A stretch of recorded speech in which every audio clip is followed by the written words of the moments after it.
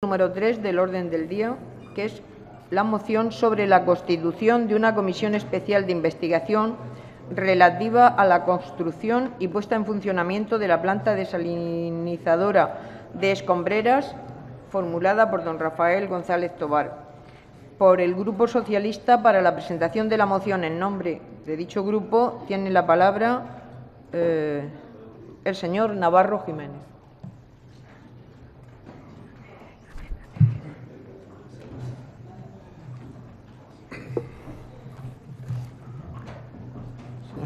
Señora, presidenta, señoría, eh, buenos días. En primer lugar, darle la bienvenida a los diputados del Partido Popular que hoy han tomado posesión y dar la bienvenida también al resto del Partido Popular a este nuevo tiempo, a este nuevo mundo de la transparencia, de la participación. La verdad es que yo estoy sorprendido, estoy sorprendido de esa catarsis, de esa metamorfosis que se ha producido y se ha producido única y exclusivamente por un motivo y, por un artículo, y es que hemos cambiado el artículo 33 por el artículo 23. Ese es el motivo de ese cambio tan profundo y tan reivindicativo. Espero, señor Iniesta, que, que, no siga usted el resto, el resto de la legislatura como el primer día. Viene usted con mucho speedy, no sé si es que ha tomado algo esta mañana o es el furor ese de haber tomado posesión. Bien, por fin, hoy dentro de ese espíritu de transparencia y de participación, y de poner luz sobre la sombra, hoy traemos aquí eh, una propuesta también consensuada con el resto de partidos de, la oposición eh, y un compromiso, y compromiso el que nosotros queremos cumplir. ¿eh? Queremos cumplir con la palabra dada. Y es crear una comisión de investigación sobre un asunto turbio como es la desaladora de Escombreras. estoy convencido que en ese espíritu de, de transparencia ustedes, el Partido Popular, van a votar que sí Ahora sí van a votar que sí. Hace un tiempo en la anterior legislatura esta misma propuesta, pues como había otras circunstancias, pues decayó y no se pudo, no se pudo debatir. Estamos hablando de una infraestructura innecesaria, inviable y caprichosa. Una infraestructura que nos va a costar muchísimo a los murcianos. Ahora nadie puede dudar ya desde el propósito y el disparate que desde su inicio ha sido la desaladora de Escombrera, uno de los proyectos estrella del, Gobierno del Partido Popular y la incoherencia y el oscurantismo que ha acompañado a todo el proceso de su construcción y explotación y que ha derivado en la grave y penosa situación en que se encuentra hoy día esa patata caliente con que se ha encontrado el nuevo Gobierno. Aunque sería totalmente incongruente que los nuevos gestores tildaran este asunto de novedoso o desconocido, ya que ha sido motivo de numerosas y continuas denuncias por parte de los partidos de la oposición, de instituciones administrativas y de diversos sectores de la sociedad murciana y el recién estrenado equipo de gobierno pecaría de ignorante o de hipócrita si pretendiera hacerse de nuevas con un asunto de sobra conocido y que además fue uno de los empeños personales del consejero Cerdá y del señor Barcárcel, mentor, principal mentor del nuevo presidente.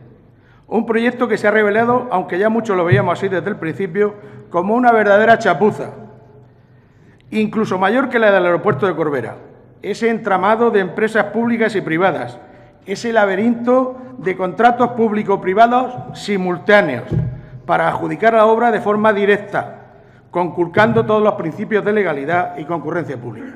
Solo por ese motivo, esta Asamblea, esta Cámara tendría que abrir un proceso de investigación por ese tipo, por esa forma de contratar. Nadie, nadie se podía explicar cuando se aprobó el ente público del agua con la Ley 4-2005 cómo el mismo Gobierno regional, que demonizó las desaladoras, que criminalizaba la política hidráulica del Gobierno socialista y que no paraba de poner trabas para entorpecer la construcción de las desaladoras que estaba poniendo en marcha el Ejecutivo Central. Al mismo tiempo, este mismo Gobierno iniciaba el proceso para construir una desaladora, menos capaz y más cara que las otras, porque no olvidemos que en esos momentos se estaban construyendo siete desaladoras.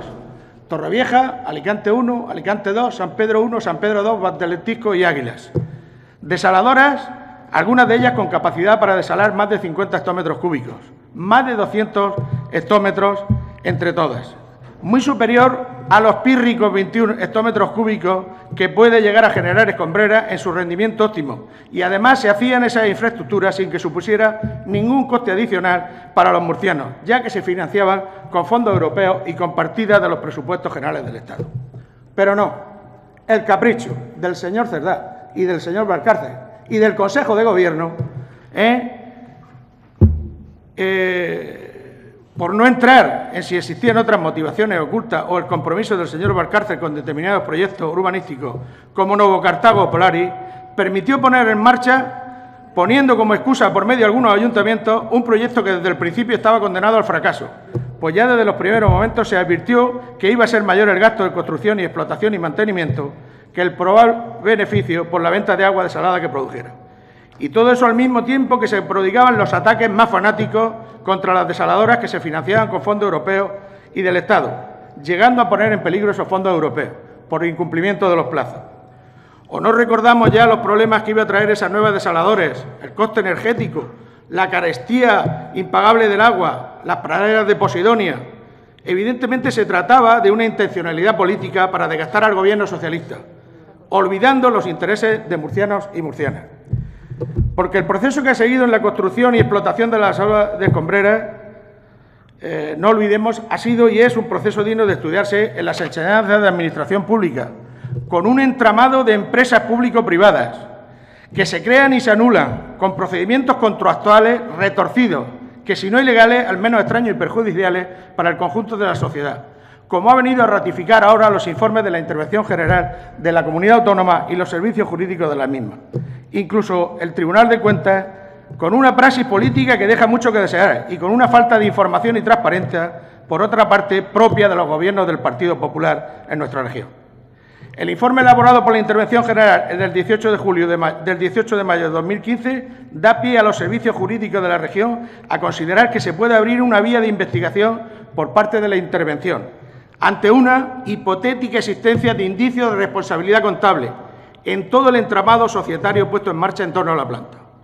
La responsabilidad contable se describe en el artículo 38.1 de la Ley Orgánica de, 2 de 83 como una responsabilidad patrimonial, al indicar que el que por acción u omisión contraria a la ley originara menoscabo de los, de los caudales o efectos públicos quedará obligado a la indemnización de los daños y perjuicios causados. No les quepa duda que pediremos responsabilidades no solo políticas, sino también patrimoniales.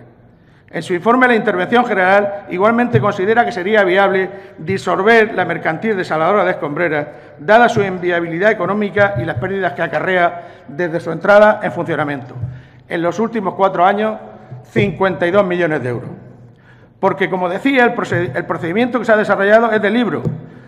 ¡Qué agilidad! Tras la constitución en julio del 2005 del ente público del agua, en enero del 2006 se contrata con Hidromanagement la realización de la desaladora de escombrera, que a su vez encarga su construcción a una empresa de su mismo grupo, Grupo Cobra ACS, Tedagua, por un importe de 100 millones de euros, cediéndole además de forma gratuita los terrenos donde se iba a ubicar la desaladora. El coste real, tras varios modificados de obra, fue finalmente de 140 millones de euros. El contrato que se realiza con Hidromanagement es un alquiler de 25 años con opción a compra, estableciéndose el primer pago en 2029 y el último en 2034. Posteriormente, el 25 de enero, se constituye la Corporación Mercantil de Saladora de Escombreras, integrada por dos sociedades propiedad del grupo Cobra ACS, Hidromanagement y Mercantil de Saladora de Escombreras. Y el Gobierno Qué agilidad, repito, el 17 de febrero de ese mismo año crea Hidronostrum, que inmediatamente compra el 51% de las acciones de, la desaladora y un contrato que obliga a comprar agua durante 25 años. Ya el 14 de julio, posteriormente de 2010, esta misma empresa Hidronostrum, empresa pública, compra el resto de las acciones de desaladora de escombreras, aunque en febrero del 2011 el Gobierno regional extingue las sociedades Hidronostrum y desaladora de escombreras y pasa la gestión al ente público del agua. La compra se realizó de tal forma que la Administración Pública asumía obligaciones de pago leoninas de más de 600 millones de euros, incluidas unas cláusulas penales totalmente abusivas y netamente perjudiciales para el erario público. Y además se usó la fórmula DAC of Pay, que obliga a los potenciales clientes a pagar el agua aunque no se consuma. Todo este entramado de sociedades, procesos contractuales, creación y extinción de empresas respondía teóricamente a la necesidad de abastecer a determinados ayuntamientos de la zona, algunos tan cercanos a la zona como Moratalla, Puerto Lumbrera o Fortuna. 26 ayuntamientos suscribieron este, este contrato de pagar aunque no consumieran el agua. ¡Qué negocio! qué negocio. Algunas industrias, pero sobre todo urbanizaciones y campos de golf que estaban en proyecto o en proceso de construcción. Y para ello la desaladora escombrera produciría 63.000 metros cúbicos al día en una primera instancia y 72.000 posteriormente. Pero ya desde esos primeros momentos se veía que la inviabilidad del proyecto, porque adolecía además de otros, además de otros muchos problemas, de un hándicap principal. La comunidad autónoma pagaba el agua a un precio de coste superior al que la vendía. ¡Qué negocio! Los cálculos más optimistas reflejaban que con mucho la empresa pública podría recaudar 10 millones de euros siempre que se cumpliesen las previsiones de venta, mientras que tendría que pagar 13 por gastos de explotación más los gastos financieros. Así, tras ese dislate de procedimiento, lo cierto es que a día de hoy una desaladora que costaba 111, que costaba 111 millones de euros, que si la comunidad autónoma hubiese acudido en ese momento al mercado financiero para obtener un préstamo en torno al 4, 4,5%, si hubiese llegado, su construcción hubiese costado entre 200 y 205 millones de euros, que en la y en la actualidad va a costar 600 millones de, euros, que es lo que reclama que es lo que, la empresa contractual Hydromanagement por la construcción de la desaladora. Hydromanagement presentó en 2014 una reclamación judicial contra la Sociedad Pública de Desaladora de Escombrera por impago de recibos correspondientes al contrato de arrendamiento, el pago de la deuda, los perjuicios por la rescisión del contrato y el pago adelantado de las rentas futuras. En total, 600 millones, más otros 12 millones que ha reclamado Tedagua por facturas vencidas del mantenimiento, más los que se vayan produciendo por la prestación de servicios. En definitiva, como decía, una desaladora inviable, innecesaria, que se crea única y exclusivamente para dar viabilidad a macroproyectos urbanísticos que igualmente han resultado un fracaso, igual que la desaladora, que podría haberse construido, aunque no era necesario, por, por 200 millones de euros y que al final le va a costar a los murcianos y a las murcianas 600 millones de euros. Y ahora, después de casi 9 millones de despropósitos, de falta de información, de oscuridad, los informes de los servicios jurídicos y de la intervención general de la comunidad vienen a corroborar ese disparate. Señor Iniesta, sea usted respetuoso con quien le está dirigiendo la palabra. Informe que solicitó el anterior gobierno del señor Garre, conocedor ya de las arbitrariedades que se habían cometido y para cubrirse las espaldas ante un futuro inmediato que él preveía. Informes que, por cierto, están en poder de la comunidad autónoma desde el día 18 de mayo eh, y, recomendando que se trasladara a la Fiscalía del Tribunal Superior de Justicia y que solo se han entregado recientemente cuando el fiscal de Medio Ambiente, señor Díaz Mazanera, los ha requerido a la comunidad autónoma a través de la Policía Judicial. Informes que evidencian lo que sospechábamos, que todo este proceso está contaminado que ha sido un auténtico fiasco, que hay actuaciones, procedimientos y conductas que es necesario agregar, que los murcianos y murcianas tienen derecho a saber lo que ha ocurrido. Informe que, junto a los que hacía el Tribunal de Cuentas relativo a las cuentas de 2011, demuestran que el mantenimiento del actual porcentaje de subvención sobre el coste de producción de agua abastecida entre 2010 y 2011 supondría unas pérdidas anuales de 11 millones de euros, incluso si la planta estuviera a pleno rendimiento los 21 hectómetros cúbicos, frente a los 12 que puede producir actualmente y frente a los 5 que es lo máximo que ha producido esta planta. En conclusión, voy, voy terminando, informes que desvelan la verdad del proceso y que ratifican lo que ya solicitó el Partido Socialista hace casi dos años, una comisión de investigación que aclare todas las sombras que tiene este proceso, que haga luz sobre lo oculto, que diga a los murcianos qué se ha hecho con este esperpento, que todos sepamos cómo se gestó y cómo se ha gastado el dinero de todos, y que también clarifique actuaciones y depure responsabilidades políticas y patrimoniales de quien hayan participado en el procedimiento. Una comisión que demuestre que las declaraciones en cuanto a transparencia e información no se quedan solo en palabras. Muchas gracias. Muchas gracias, señor Navarro. Por el Grupo Parlamentario Podemos tiene la palabra el señor Urbina.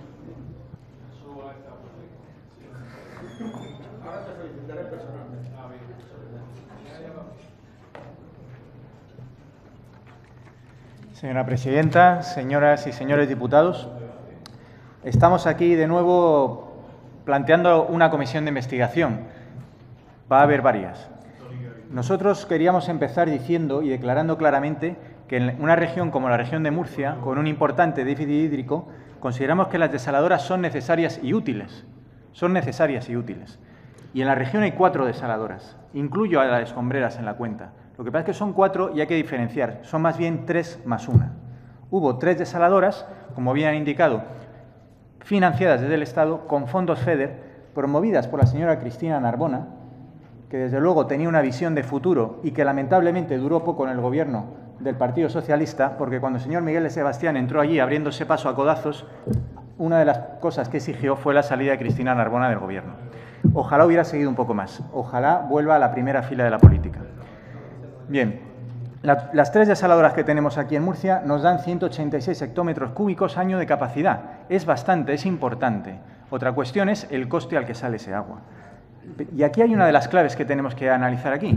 Una de las claves que tenemos, por ejemplo, la desaladora de Valdelentisco, que está funcionando más o menos razonablemente bien, con un 70% de capacidad de uso, resulta que teniendo 57 hectómetros cúbicos al año de capacidad, costó 141 millones de euros. Es decir, que tenía un coste aproximado de 2 millones y medio de hectómetros cúbicos por cada hectómetro cúbico que producía. Resulta que llega a la de escombreras y con 21 hectómetros cúbicos de capacidad costó 117 millones de euros, coste reconocido por la propia empresa constructora, que sale a 5,5 millones por cada hectómetro cúbico. Es decir, ya desde el punto de vista de la construcción nos encontramos con que ha costado el doble. Primera cosa que llama la atención. Y esto desde el punto de vista puramente técnico. Cuando vamos ya a lo que es el entramado societario, que no voy a repetir porque lo ha analizado bastante en detalle eh, Jesús Navarro, eh, nos encontramos un ejemplo que es preocupante, porque este ejemplo de cooperación público-privada es la que se está poniendo como la vía futura para negociar muchas cosas en la región de Murcia.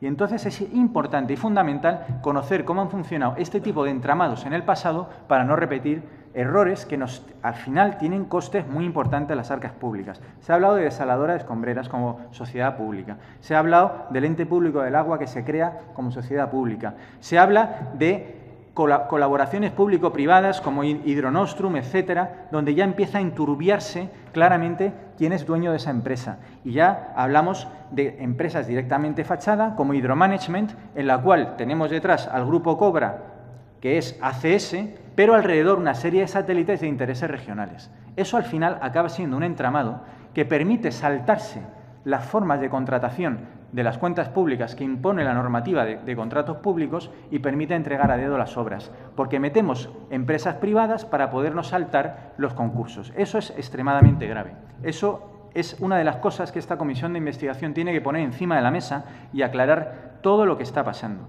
Estamos hablando de costes de 117 millones, es la cifra que yo he traído encima de la mesa, que es lo que costó la desaladora, y que resulta que por una promesa de arrendamiento a 25 años se han transformado de la noche al día y vía una demanda de lucro cesante que hace ACS Seguros en un coste de una demanda de 570 millones que con intereses y amortización va a llevar de aquí al 2034 a costarle 600 millones a la región de Murcia. Eso es lo que es inaceptable. Como una infraestructura que cuesta 117, vamos a acabar pagando 600 millones de ella. Desde luego, el entramado financiero, además del societario, hay que investigarlo también. Quisiera acabar simplemente y tratando de poner una nota de optimismo en esa cuestión. Nosotros vamos a apoyar la comisión de investigación, pero nos gustaría que no se limitara solamente a la parte de cómo se contrató, de cómo se está pagando y de cómo intentar librar a la comunidad de Murcia de esa esclavitud de pago hasta el año 2034, porque si se encuentra indicio de delito pasará a la Fiscalía, pero si hay responsabilidades también se podría librar a la Comunidad de Murcia de esa necesidad de pagos. Pero yo pondría encima de la mesa también que se haga una auditoría técnica. La desaladora técnicamente es buena, osmosis inversa, una serie de motores, una serie de consumos eléctricos que es tecnología de buena calidad. ¿Por qué tiene unos costes de explotación que llevan pérdidas? Bien, hay que analizar eso también. Está funcionando al 10% o menos de su capacidad. Que esta comisión investigue también su viabilidad técnica. Las desaladoras son necesarias en, Murcia.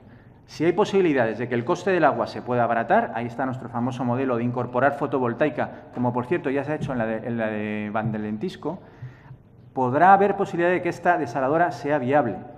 Y si es viable y hay vía de que el Gobierno regional se quede con ella, pero pagando el precio justo que tenga que pagar, no más de 117 millones de euros, pues a lo mejor resulta que tiene unos costes de explotación positivos. Y eso tiene que investigarlo también esta comisión de investigación. Nada más, vamos a votar a favor y muchas gracias por su atención. Muchas gracias, señor Urbina.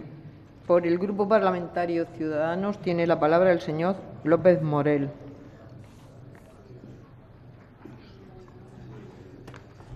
Barías. Señora presidenta, señorías, como ya hemos declarado en tantas ocasiones, Ciudadanos, Partido de la Ciudadanía, apoyará con mucho gusto tan, cuantas pues, comisiones, mociones y proyectos de ley se presenten en esta Cámara, siempre y cuando vayan en pro de la regeneración democrática y en pro de las instituciones, del mejor funcionamiento de las instituciones de nuestra región. Lo hemos repetido y lo mantenemos. Agradecemos en este caso al Partido Socialista que se haya tomado la molestia de incorporar esta propuesta que ya avanzamos nosotros que íbamos a presentar y de hecho es una parte fundamental de nuestro programa electoral, concretamente el punto 10 en el apartado 2 y fue incorporado de hecho como punto, como todos sabemos, de nuestras negociaciones y acuerdo de gobernabilidad con el Partido Popular. Por lo tanto, queremos mostrar nuestro apoyo a esta moción para la creación de la Comisión Espacial de la de Escombreras, que entendemos que es nuestra también, por supuesto.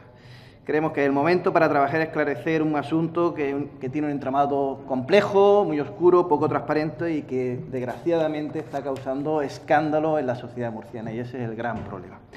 Es absolutamente necesaria la creación de esta comisión de investigación con el objeto de analizar todo el subproceso que desembocó a la concesión irregular, como se ha repetido ya en esta Cámara, eh, a una empresa privada sin concursos, y con muy poca transparencia de esta instalación y en esta comisión, en dicha comisión digo, deben investigarse, por supuesto, los compromisos económicos que asumió la Administración mediante una serie de contratos.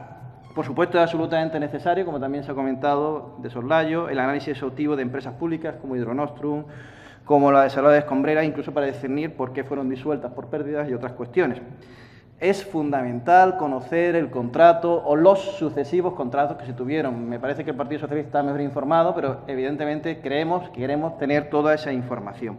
Como los ciudadanos no tenemos acceso a ese contrato y tenemos que saber por la prensa de todas estas cuestiones, y nos parece muy importante. Y de esos contratos ya se han dicho, no voy a repetir, no voy a cansarles, de consecuencias importantes para la región y su futuro, eh, se ha hablado de esos 600 millones, de esos 11 millones que se tienen que pagar aún pagando intereses. Y simplemente dar un dato, la comunidad autónoma de la región de Murcia tiene presupuestado para esta obra pública 21,9 millones de euros, que es ni más ni menos, para que todos me entiendan, tres veces, tres veces el presupuesto del Instituto de Turismo de la región de Murcia. Con lo cual, desgraciadamente no hay nadie del Gobierno para escucharme, me pregunto si estas son las prioridades del Gobierno de la región en este momento, como lo fueron en el pasado. Asimismo, el reciente informe del Tribunal de Cuentas afirma que la desaladora, como ya se ha dicho, incluso en óptimo funcionamiento, continuará sin tener un rendimiento financiero mínimo. Y además existen facturas irregulares entre sociedades mercantiles que deben ser aclaradas. Ciudadanos, por supuesto, quiero informarlos, y ya no lo conocen ustedes, ha reclamado a través de la Cámara ese informe y esperemos que eso aclare la situación. Por otra parte, ¿dónde están los convenios con los 26 ayuntamientos de la desaladora? Vuelvo a hacer hincapié en las cuestiones que ya comentó el diputado de Ciudadanos. Seis años después de su puesta en marcha, funciona efectivamente al 10% esta desaladora y solo abastece el 16% de la, población murciana cuando se llegó a decir que iba a abastecer hasta el 65% de la misma. Y por último, existe una querella en la que presuntamente la desaladora de escombreras tenía como fin abastecer mm, a la controvertida organización de Nueva Cartago. No voy a meterme en otras posibles hipotéticas, me centro en la que efectivamente está en tribunales. Nos preguntamos en definitiva cuántas ramificaciones más puede tener este asunto. Por lo tanto, ¿eh? y brevemente y ya directamente, pues anuncio, como les he dicho, señorías, que Ciudadanos va a reiterar ese apoyo a esta moción de creación de la Comisión Espacial de Investigación relativa a la construcción y puesta en funcionamiento de la planta desalinizadora de escombreras, efectivamente en los términos que se han sido presentadas, que hubiesen sido idénticos a los que hubiesen sido en el caso que lo hubiésemos hecho nosotros. Muchísimas gracias. Muchas gracias, señor López Morel. Por el Grupo Parlamentario eh, Popular tiene la palabra el señor Martínez Muñoz.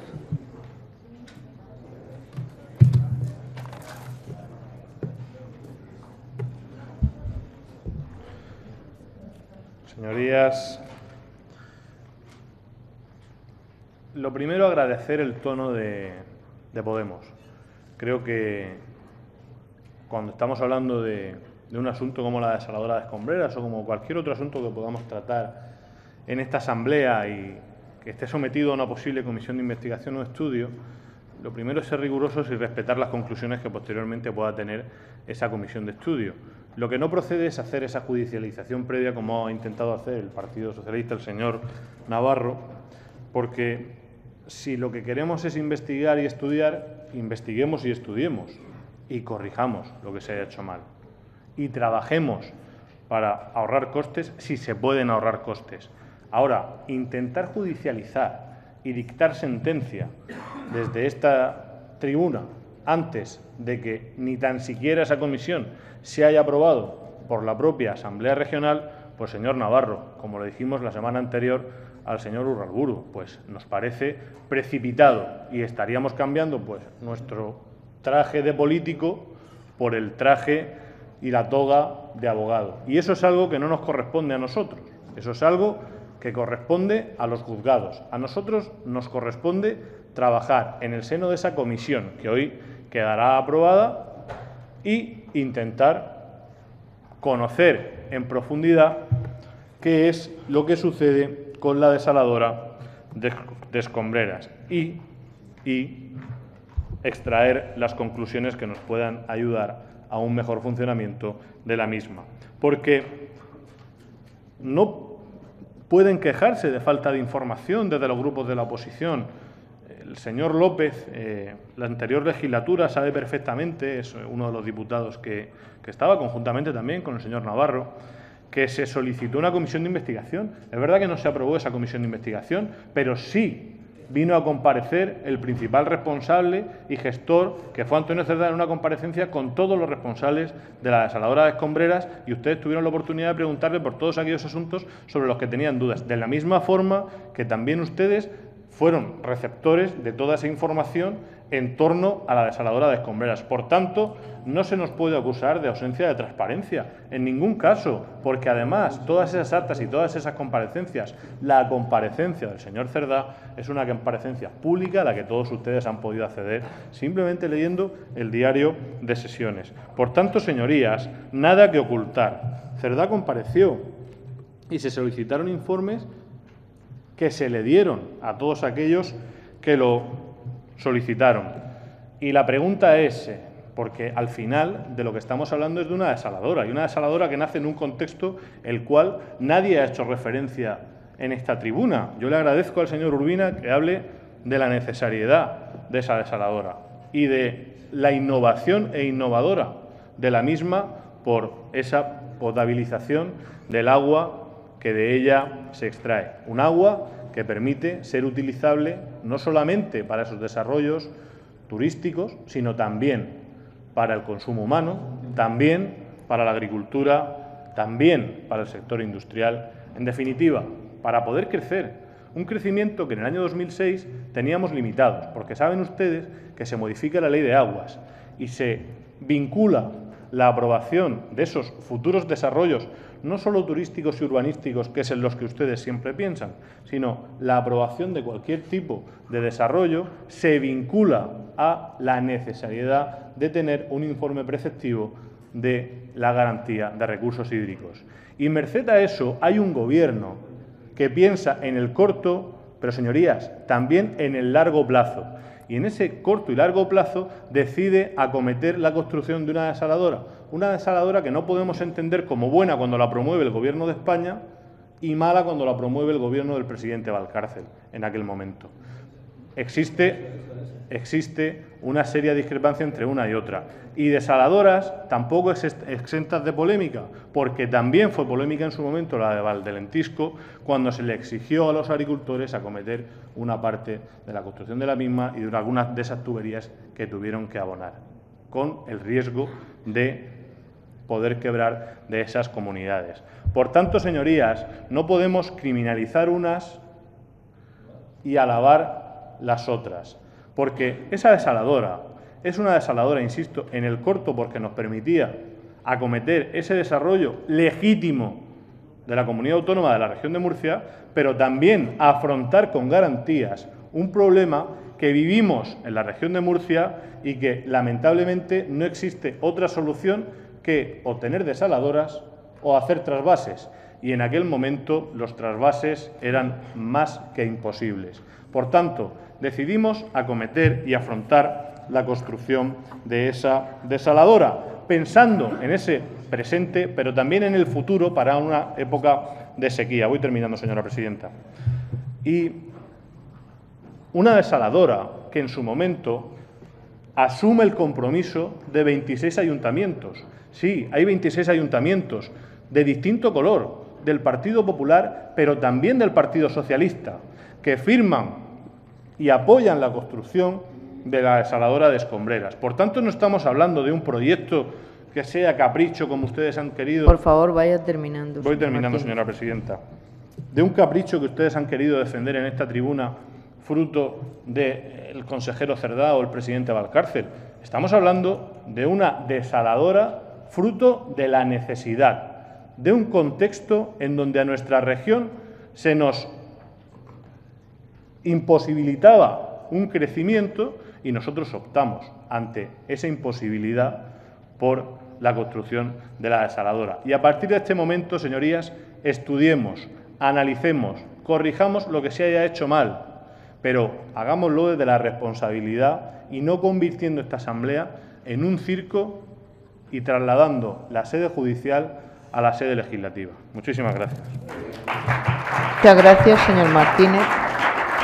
Para la aplicación del texto de la moción tiene la palabra el señor Navarro Jiménez.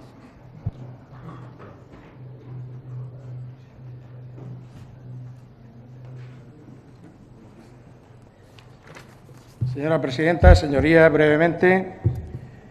Eh, bueno, quiero dar las gracias por el apoyo a la, el apoyo a la solicitud de comisión vuelvo a insistir, es un acuerdo, es el cumplimiento del compromiso que tenía el Partido Socialista con Ciudadanos y con Podemos.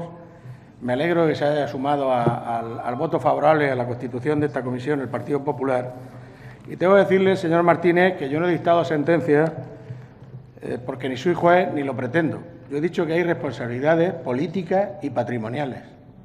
Y no lo digo yo, ¿eh? lo dice la Intervención General de la Comunidad Autónoma y los servicios jurídicos de la Comunidad Autónoma a petición del presidente de la Comunidad Autónoma, señor Garre, presidente del Partido Popular. O sea que yo no dicto de sentencia. Mire usted, sí que es verdad que se presentó aquí una comisión de investigación, que no se aprobó, desgraciadamente, porque ya podríamos haber andado parte del trecho que nos toca andar ahora. Pero en ese momento, como estaba pendiente y ante el debate de esa comisión, pues se pidió una, comparecencia que le había pedido Izquierda Unida, hubo esa comparecencia del señor Cerdá. Comparecencia que no convenció absolutamente a nadie. Y cuando digo nadie, digo ni a Izquierda Unida, ni al Partido Socialista, ni al Partido Popular. Tal es así que después de esa comparecencia del señor Cerdá, el señor Garre es el que pide un informe a los servicios jurídicos y a la intervención general. ¿Eh? Y en el gobierno del señor Garre, Garre, es cuando se dice que se traslade esos informes ¿eh? a la Fiscalía porque hay, pues bueno, lo que hay. ¿Eh? Eso lo ha pedido el señor Garre. Le costó caro al señor Garre pedir eso, atreverse, ser un atrevido y pedir transparencia. Y eso, le costó aquella frase que dijo, cualquiera menos Garre, cualquiera menos Garre. Y de, prueba, y de, hecho, pues el señor Garre, el señor Garre, sí, sí, usted sabe de eso más que yo, el señor Martínez. Mire usted, nosotros no hemos dicho nunca que haya desaladoras buenas y desaladoras malas. Para nosotros las desaladoras son todas buenas. La desalación es buena, lo que hay es buenas y malas artes en la contratación de lo público. Y eso es lo que nosotros queremos investigar. Y lo que hay es costes que son equilibrados, como se ha dicho aquí por parte del, interviniente, del, portavoz, en este caso de, Podemos, lo que hay que buscar es si realmente esa desaladora tiene el coste que se nos dice que ha tenido. ¿Usted le puede explicar a los murcianos en la situación que estamos que haya empresas que obtengan un beneficio del 300% a costa de la espalda de los murcianos? Pues eso es lo que le tenemos que explicar, señor Martínez. Le tenemos que explicar en qué se ha gastado hasta el último céntimo. Y si hay una responsabilidad patrimonial de los miembros del Consejo de Gobierno o quien hayan participado en esas sociedades instrumentales que lo que han hecho ha sido retorcer la ley o buscar ese laberinto pseudolegal para adjudicar una obra de esa importancia a dedo. Se ha acabado el dedo señores del Partido Popular, y se ha acabado el rodillo del Partido Popular. Y afortunadamente, y acabo con lo que dije antes, El artículo 33 lo hemos, lo hemos cambiado por el artículo 23. Y gracias al artículo 23, que es que esta bancada tiene ahora un diputado más, se van a poder investigar no solo a desaladores escombreras, sino otros caprichos que han producido un deterioro a las arcas públicas de la región y que van a tener que pagar todos los murcianos. Estamos hablando de 600 millones de euros, que no es cuestión baladí. Con 600 millones de euros se podrían pagar muchas rentas básicas, muchos libros, muchas becas y se podría atender a la educación y a la sanidad en mejores condiciones que lo están haciendo ustedes. Muchas gracias. Muchas gracias, señor Navarro Jiménez. Bien, pues vamos a proceder a la votación de la moción. ¿Votos a favor?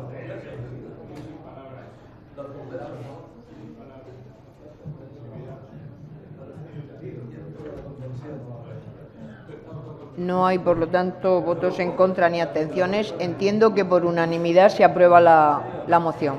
Muchas gracias. Y se levanta la sesión. Perdón, perdón. Turno de explicación de voto. Sí, bueno, yo creo que hay que congratularse porque ha salido por pedido unanimidad. disculpe un momento, Ah, señor perdón. Rubina. Lo ha pedido el Grupo Parlamentario Podemos y lo ha pedido el Grupo Parlamentario Popular y el Grupo Parlamentario Socialista. Usted establece el orden que, que Sí, sí. actuemos. Empieza el Grupo Parlamentario Podemos. Bueno, yo lo primero, congratular esta unanimidad, pero quería explicar eh, un poco el sentido del voto y quizá aclarar el sentido de la comisión de investigación después de oír al señor portavoz, porque es una comisión mm, no de investigación sobre la conveniencia o no de las desaladoras en sí o de la necesidad en la región de Murcia de tener o no desaladoras. Es una comisión de investigación sobre la mala gestión de esta desaladora en concreto. Y esta desaladora en concreto es la que ha generado serias dudas y lleva a esta comisión de investigación. No estamos investigando sobre la conveniencia o no de las desaladoras. Y simplemente destacar tres puntos que nos ha llevado a, a- tener este voto a favor.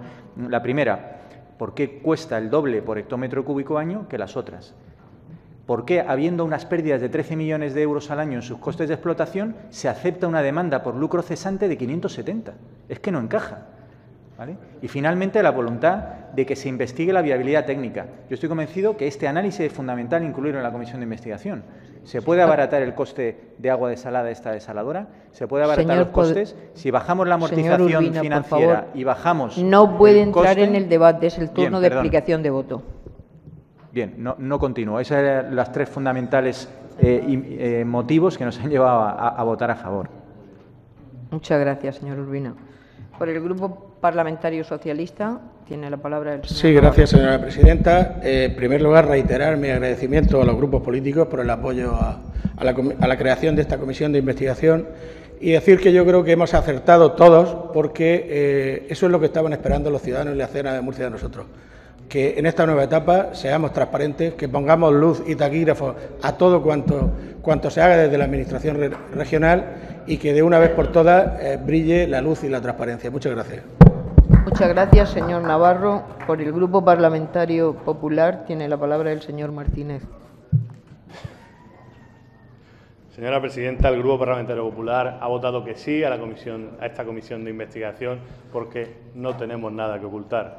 El Grupo Parlamentario Popular ha votado que sí para poner luz sobre mucha de la demagogia que se ha vertido desde esa tribuna en esta mañana.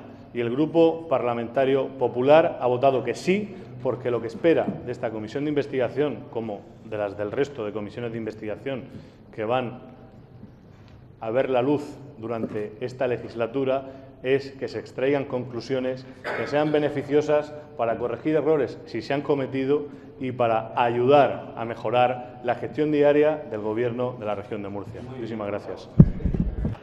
Muchas gracias, señor Martínez Muñoz. Ahora sí, en punto, se levanta la sesión.